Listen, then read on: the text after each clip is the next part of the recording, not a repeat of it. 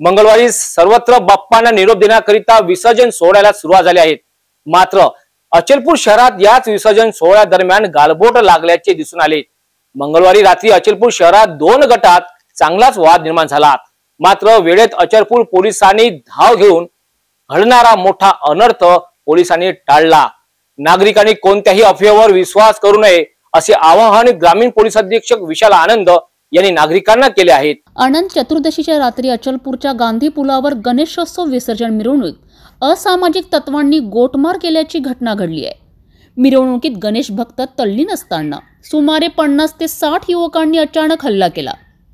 या हल्ल्यात काही गणेश भक्त तसेच काही पोलीस कर्मचारी जखमी झालेत. पोलीस या असामाजिक तत्वांचा शोध घेत असताना ते फरार झालेत. घटनेच्या पार्श्वभूमीवर अचलपूर व परतवाडा परिसरात मागील दोन दिवसांपासून पोलिसांनी कडक बंदोबस्त ठेवला आहे. प्राथमिक माहितीनुसार ईद ए मिलाद उन्नबीचा बोर्ड फाडल्यामुळे हा वाद उफाळल्याची शक्यता आहे. सरमासपुरा पोलीस ठाण्याचे ठाणेदार गोपाल चावडीकर या घटनेचा तपास करीत आहेत. घटनेनंतर अमरावती जिल्हा ग्रामीण पोलीस अधीक्षक विशाल आनंद यांनी तात्काळ घटनास्थळी धाव घेतली आहे आणि अचलपूर शहरात पोलिसांनी मोठ्या प्रमाणावर बंदोबस्त तैनात केलाय. यामुळे शहरात पोलीस छावणीचे स्वरूप निर्माण झाले होते.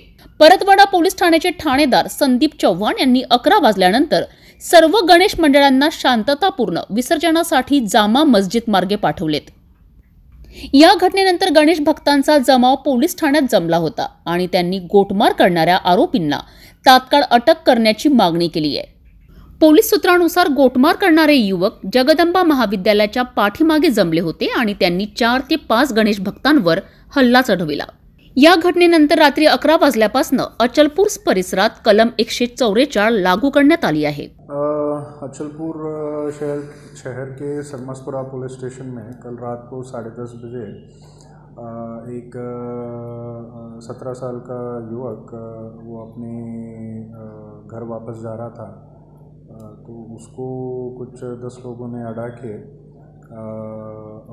उनके संबंधित धर्म के एक पोस्टर को फाड़ा है, ऐसा एलिगेशन करते हुए उसको उन्होंने पकड़ के मारा एंड वहाँ पे जो पास में पुलिस उपस्थित थी तो वो बीच में उनको रुकाने के लिए गई तो उसी में फिर बाचा हुई दोनों गटों के बीच में एंड उस पे से फिर थोड़ी देर बाद वहीं पे दगड़ फेंक वगैरह हुआ था।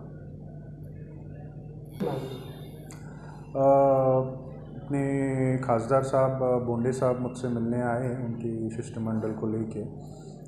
उन्होंने भी यही वक्तव्य किया है कि जो हुआ है घटना, वो काफ़ी गंभीर है एंड कायदा और सुव्यवस्था को लेके ऐसा होना बिल्कुल भी ठीक नहीं है।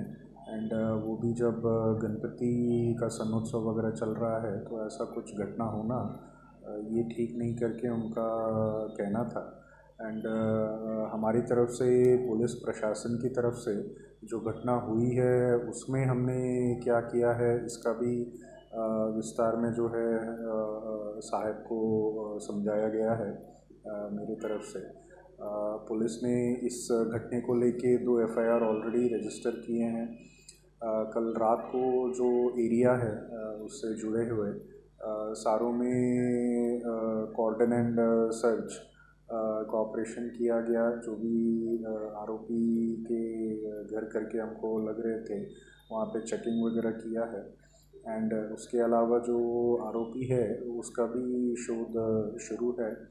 इसके अलावा बाकी इतर ज़िले से एडिशनल फोर्स जो है, मैंने मोबिलाइज़ किया है।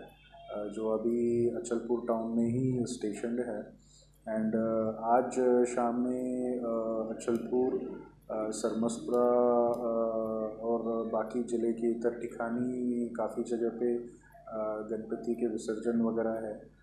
तो इसके लिए भी जो है सिक्योरिटी वाइज फोर्स वगैरह बीफअप किया गया है मैंने अलावा लिया है।